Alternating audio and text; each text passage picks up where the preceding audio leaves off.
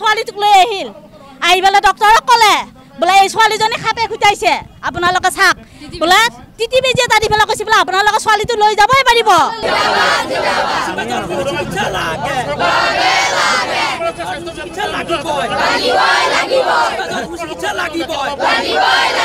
চৰকাৰী হস্পিটেল কিয় পাতিছে চৰকাৰী হস্পিটেল আমাক নালাগে। যদি আমি প্ৰাইভেটকে চাব লাগে। গতিকে আমি নিজৰ ঘৰৰ মানুহ হৈ পেলাই ছোৱালীটো দেখাইছোঁ।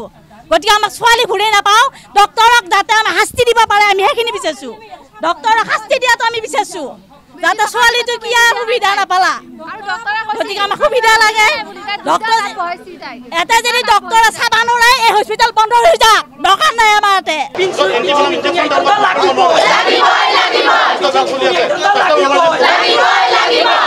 আশা কৰিছো মুখ্যমন্ত্ৰী ছোৱালীটোক লৈ আহিল আহি পেলাই ডক্তৰক ক'লে বোলে এই ছোৱালীজনী খুটাইছে আপোনালোকে চাওক। বোলে তিতি বেজি এটা দি পেলাই কৈছে বোলে আপোনালোকে ছোৱালীটো লৈ যাবই পাৰিব। ৰাখি থৈ দিছে কিছু মই ঘৰত লৈ যাব পাৰিব বুলি কৈছে। গতিকে সেই ছোৱালীটোক আমি ঘৰত কি পৰ্যায় লৈ যাম? ছোৱালীটো যেতিয়া বেছি হ'ল বেলেগ একজন ডক্তৰক দেখাবলৈ যাবলৈ দাঙি লৈ যাই দেখাইছে মেডিকেলৰ ভিতৰত ক'ত বহি আছে আমি নাজানো। গতিকে তেওঁক দাঙি নি কৈছে বোলে এই ছোৱালীজনী চাওক কি হৈছে আমি ধৰিব পৰা নাই পানী খাব বিচাৰিছে। সেই ডক্তৰজনে কৈছে বোলে পানী খুৱাব নালাগে আপোনালোকে মঙলৈক লৈ যাওক। মঙলৈক লৈ গৈছে মঙলৈক লৈ যায় এই মঙলৈ মাজতে বোলে কোনোবাখিনি বমি কৰিছে ছোৱালীজনীয়ে। বাইকক লৈ গৈছে নিজৰ এম্বুলেঞ্চ পোৱা নাই আমাৰ গাঁৱত এম্বুলেঞ্চ নাযায় বাইকক লৈ গৈছে নিজৰ খুৰাকে লৈ গৈছে। গতিকে আমাক ন্যায় লাগে এই ডক্তৰজন যোনজন আছিলে আমাক লাগে। আমাক ডক্তৰজন লাগে। বেজীকেইটা এই ত্ৰিছটা বেজী থাকে আমাৰ ছোৱালীজনে বেজী কিয় নাপালে ইয়াতে? বেজী বেজী নাই বেজী নাই কৰিছে। আমাক ন্যায় লাগে? ডক্তৰ লাগে ইয়াতে। ডক্তৰৰ মানে ডক্তৰৰ অৱজনত ছোৱালীটো মাৰিলে। আমাৰ মানে সেইটো কাৰণে আমি ধৰ ইয়াতে ধৰ্ণা দিবৰ কাৰণে আহিছোঁ মানে কঠোৰৰ পৰি কঠোৰ শাস্তি দিব লাগে আমি তাৰমানে ইয়াৰ পৰা নাই ছোৱালী ট্ৰান্সফাৰ কৰিব লাগে চাকৰি নাই তেওঁ চাকৰি খেদাব লাগে ইয়াতে তাৰমানে থাকিব নালাগে ইয়াতে কাৰণ একো এটা বেজী দিব খুজিলে বেজী দি কিনি আনিব লাগিব চিজটো নিদিয়ে বেণ্ডেজটো নাই বুলি কয়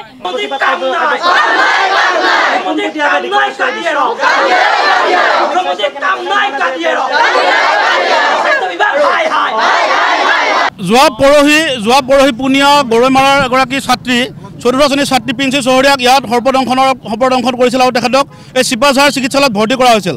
আৰু চিপাঝাৰ চিকিৎসালয়ত ভৰ্তি কৰাৰ পিছত যিগৰাকী চিকিৎসক ইয়াত দায়িত্বত আছিল কৰ্মৰত চিকিৎসক আছিল তেখেতে সেই ছাত্ৰীগৰাকীক কেৱল মাত্ৰ এটা টিটি বেজী প্ৰদান কৰি ইয়াত দুঘণ্টা তেখেতে ৰখাই থৈছিল আৰু দুঘণ্টা পিছত ছাত্ৰীগৰাকীৰ যেতিয়া অৱস্থা সংকটজনক হৈছিল তেওঁ ইয়াৰ পৰা তেখেতক ৰেফাৰ কৰিছিল মঙলদৈ হস্পিটেললৈ আৰু মঙলদৈ চিকিৎসালয়ত তেখেতক এণ্টিভেনম বেজীটো দিয়াৰ পিছতো সেই ছাত্ৰীগৰাকীয়ে নিজৰ প্ৰাণ প্ৰাণ হেৰুৱাইছিল। আৰু এটা কথা ইয়াৰ পৰা স্পষ্ট হৈছে যে চিপাঝাৰ মেডিকেলত যিগৰাকী চিকিৎসক কৰ্মৰত হৈ আছিল যিগৰাকী ব্যক্তি ইয়াত দায়িত্বত আছিল তেখেতে পৰিয়ালটোক আশ্বস্ত কৰিব কৰিছিল যে ইয়াত কোনো ধৰণৰ বিষাক্ত সাপে দংশন কৰা নাই বা তেনেকুৱা ধৰণৰ চিন্তিত হ'ব লগা কাৰণ নাই। কিন্তু তাৰ পৰৱৰ্তী দুঘণ্টাৰ পিছত কিন্তু ছাত্ৰীগৰাকীয়ে মৃত্যুক আকোৱালি ল'লে। আৰু এই সমগ্ৰ ঘটনাটোত কিন্তু যিগৰাকী চিকিৎসক ইয়াত জড়িত আছে যিগৰাকী চিকিৎসক দায়িত্বত আছিল তেখেতক জড়িত কৰিব লাগে জগৰীয়া কৰিব লাগে আৰু এই সমগ্ৰ ঘটনাটো এটি ন্যায়িক তদন্ত কৰিব লাগে। আচলতে তদন্তৰ নামত ভেকু ভাওনা কৰি স্বাস্থ্য বিভাগে ৰাইজক আশ্বস্ত কৰিব পৰা ধৰণৰ এটা তদন্ত কৰিব লাগে যিটো তেওঁলোকে কালি যি তদন্ত ঘোষণা কৰিছে তদন্তটো আচলতে নামত আমি ভেকু ভাওনা দেখিছোঁ। আৰু উপায়ুক্তগৰাকীয়ে নিজৰ হস্তক্ষেপতে চিপাঝাৰ চিকিৎসালয়ত উপস্থিত হৈ তেখেতে এই তদন্ত প্ৰক্ৰিয়াটো আগবঢ়াব লাগে। ইয়াৰ লগে লগে চিপাঝাৰ চিকিৎসালয়ত যিসমূহ পৰ্যাপ্ত সুবিধা লাগে পৰ্যাপ্ত সুবিধাসমূহ কিন্তু আজিও আমি পোৱা পৰিলক্ষিত হোৱা নাই। আজি আজি আমি আহি নিজে এই কাৰ্যালয় কাৰ্যসূচীত আহি আমি নিজে দেখা পাইছোঁ যে ইয়াত এটা পাঁচটকীয়া চিৰিঞ্জৰো অভাৱ আনকি ৰোগীয়ে এই চিৰিঞ্জটো তেওঁলোকে বাহি- বাহিৰৰ পৰা কিনি নিবলগীয়া অৱস্থা হৈছে। আৰু এগৰাকী ছাত্ৰীয়ে যেতিয়া তেওঁলোকে এখন বেনাৰ ইয়াত লগাই থৈছে। বেনাৰখনত কোৱা হৈছে যে সৰ্বদংশনৰ কম সময়ৰ ভিতৰত যদি চিকিৎসালয়ত সেই সেই মান ব্যক্তিগৰাকী লৈ আহিব পাৰে তেনেহ'লে তেওঁৰ মৃত্যুৰ কোনো শংকা নাই। আৰু আধা ঘণ্টাৰ ভিতৰত যেতিয়া ছাত্ৰীগৰাকীক ইয়াত লৈ আহি ইয়াত উপস্থিত কৰা হৈছিল ইয়াত তেওঁক এডমিট কৰা হৈছিল সেই সময়ত চিকিৎসকে কিন্তু তেওঁক ভাল অৱস্থাত পাইছিল আৰু সেই সময় সময়ত ছাত্ৰীগৰাকী দেহৰ অৱস্থা সম্পূৰ্ণ সুস্থ আছিল।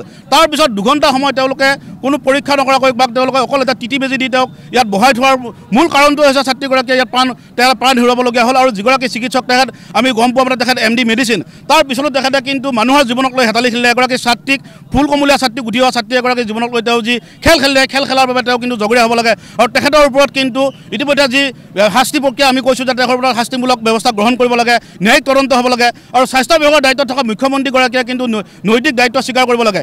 ইতিমধ্যে যি ভাৰতৰ যি নিৰ্বাচন প্ৰক্ৰিয়া হৈ গ'লে নিৰ্বাচন প্ৰক্ৰিয়াত মুখ্যমন্ত্ৰীগৰাকীয়ে ভাৰতৰ অন্য ৰাজ্যত ঘোষণা কৰিছিল যে অসম অসম ৰাজ্য ভাৰতৰ ভিতৰত পাঁচ নম্বৰ ৰাজ্য হ'ব আৰু এখন মডেল ৰাজ্য হিচাপে ঘোষণা কৰা হৈছিল। কিন্তু এই নে নেকি হিমন্ত বিশ্ব শৰ্মাৰ মডেল ৰাজ্য? এয়াই নেকি তেওঁলোকৰ চিকিৎসা ব্যৱস্থাৰ ফুপুলা স্বৰূপ? আমি কালি চিকিৎসা হস্পিটেলত যি ঘটনা ঘটিল যোৱাকালি যি ঘটনা ঘটিল এয়াই কিন্তু হিমন্ত বিশ্ব শৰ্মাৰ যি মডেল ৰাজ্যৰ এই স্বৰূপ কিন্তু উদঙাই দিছে। চৰকাৰী চিকিৎসালয়ত আহি যদি মানুহে চিকিৎসা লাভ কৰিব নোৱাৰে চৰকাৰী চিকিৎসালয়ত যদি তেখেতে এণ্টিভনম বেজী এটা তেওঁলোকে দিব পৰা অৱস্থাত নাই ইয়াত মজুত থকাৰ পিছতো তেওঁলোকে বেজীটো কিয় নিদিলে?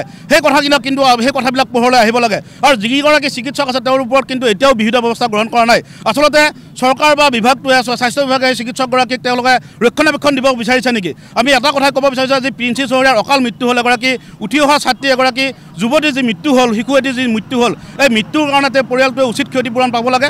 আৰু তাৰ লগতে যিসকল বিষয়া কৰ্মচাৰী চিকিৎসক জড়িত আছে চিকিৎসকসকলে কিন্তু উচিত শাস্তি পাব লাগিব। নহ'লে ছাত্ৰ সন্থাই পৰৱৰ্তী সময়ত আন্দোলন কাৰ্যসূচী অব্যাহত ৰাখিব।